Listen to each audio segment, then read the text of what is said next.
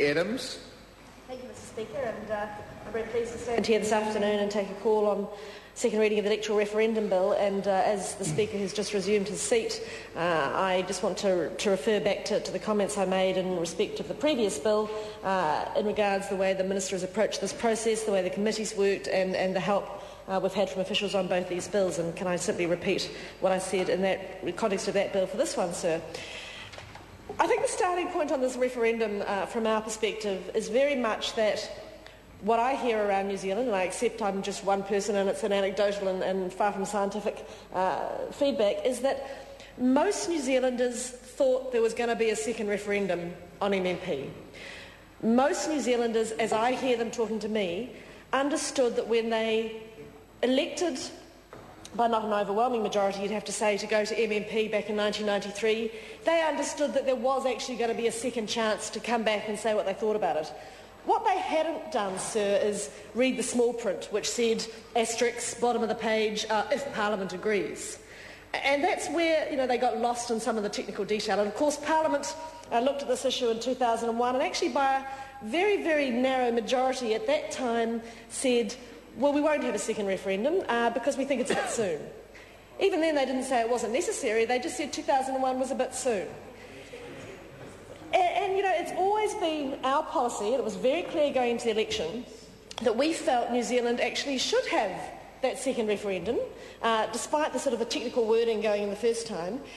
And quite apart from anything else, if New Zealand does once more signal that it wants MMP as its voting system, then that I think will legitimise and put to bed this festering unease about whether or not we should have ever had a second say on it. One thing I do find slightly concerning, and I'll, I'll, get this off my chest nice and early in the piece, is that there does seem to be a bit of a, a mood from, from the pro-MMP lobby to say, well, we've got the system we want, so there shouldn't be any more debate on it now. Having got MMP, let's shut it all down. And, and I don't think that's right. I think if, if we are firm in the views that MMP has worked well for New Zealand, and I'll be the first to, to say it's done, it's done some good things, then we shouldn't be afraid to put it back to New Zealand and say, OK, New Zealand, this is your chance. You've had the system now since 1996. How are you going? What do you think of it? Should we endorse it?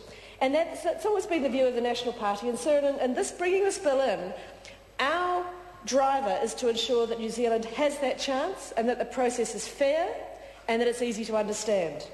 And for that reason, the committee, sir, has spent a lot of time actually on the, the ballot paper, uh, which is a schedule to this bill, to ensure that the language was as simple and as, as, plain English as it could be. We took some expert advice on that. We spent a lot of time looking at the way the systems were described, their names, their order on the ballot paper, to do everything we could to ensure that there was no perception either for or against any particular system. Because, sir, as the chair of that committee, it was certainly my view, and I think shared by everyone on the committee, that what we needed to do was ensure all the systems were put up in an unbiased way so that the public could have their, have their say without you know, us sticking our fiddle in as to which system it should be. And for myself, I've been pretty careful not to, to take a stand on any of the systems because, as Mr Hodgson said, and I think quite rightly, that's actually not for us politicians to do. This is a referendum, it's for the people of New Zealand, and our job in passing this legislation is to ensure, as the Minister said in his opening contribution, that the process is clear, neutral and unambiguous. Can I just comment on the issue of, of, the timing of the referendum? Because one way that this is different, of course, from the 92-93 process is that the decisions that's been made uh, by this government and this bill is that both of those referendums, if in fact there are two, will be held in conjunction with the general election. And we did have some discussion around that with submitters uh, during the, the, the uh, select committee process because, of course, what you get from combining them with the general election is a far higher level of engagement and, and voter turnout, and that is absolutely uh, something to be desired.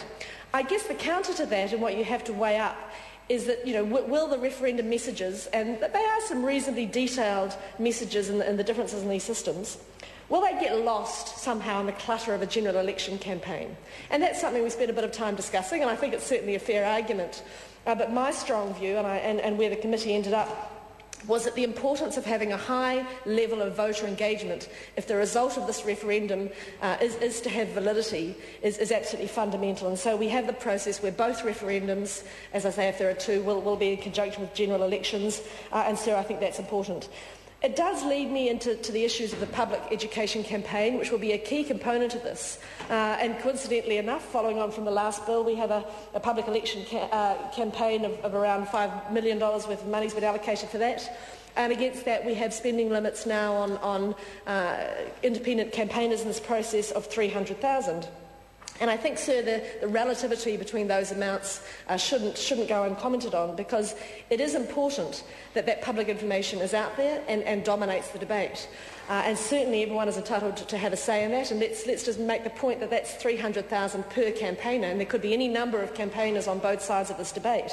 Uh, and as I said in the first contribution, arguably the limit should have been higher. You know, that would have been where I would have started off, uh, but that's where the committee uh, has come to on a consensus basis.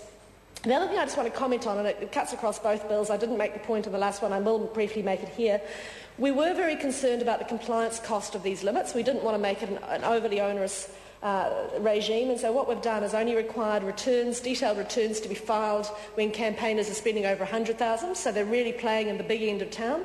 Uh, people out handing out a few leaflets and the like do not have to go through the expense of filing detailed returns. Uh, and we haven't made it an automatic auditing provision either, because we all know how onerous and expensive audits can be. Uh, what we've done instead is, is, given the Electoral Commission the power to require an audit if they believe on reasonable grounds uh, that there is merit in that. And I think so that's a good balance between ensuring uh, that the system is robust uh, without imposing cost for the sake of cost. So uh, there's a number of other matters I'd, I'd, very much like to talk about in this. It's a, it's a, very, very interesting process and one I'm looking forward to seeing how it rolls out during the next year.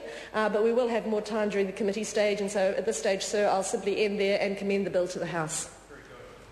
Speaker.